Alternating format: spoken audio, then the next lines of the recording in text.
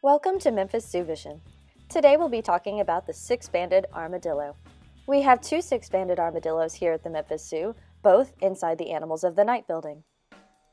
This armadillo is named after the flexible bands across its back.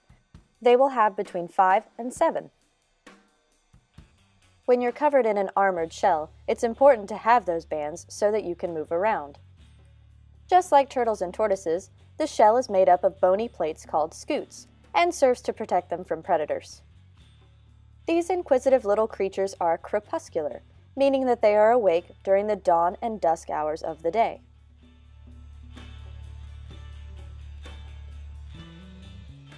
Unlike their three-banded cousin, the six-banded armadillo cannot roll itself into a ball.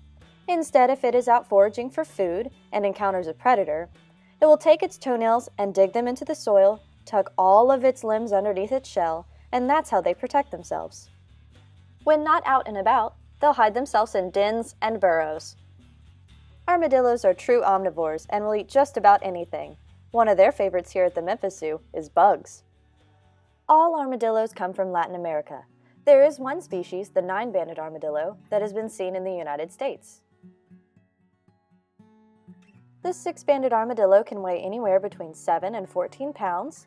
They live for up to 15 years in captivity, and you'll find them on the grasslands of South America. You may hear this animal referred to as the yellow armadillo. The word armadillo actually means little armored one. Surprisingly enough, two of the closest relatives to the armadillo are sloths and anteaters. Luckily for the six-banded armadillo, the conservation status is listed as least concern. However, in their native South America, they are hunted for their meat, and there is the threat of displacement due to deforestation. Happily for Bo, there are no dangers in his world, and he seems perfectly content to play around as he sees fit. He even takes time out of his busy schedule to enjoy a back rub. If you're itching to get a first-hand experience with the armadillos, come visit them inside of the Animals of the Night building.